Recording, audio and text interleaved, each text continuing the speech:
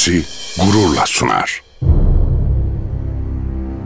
14 Şubat 2013 günü asla unutulmayacak. O gün iki büyük kuvvet Twitter ovasında karşılaşacak ve gönüllerin meydan savaşı başlayacak.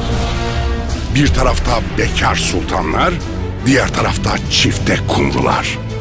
Kozlar dijital dünyada paylaşılacak. Savaşın galibi 14 Şubat'ın sahibi olacak ve Pepsi'den sürpriz ödüller kazanacak.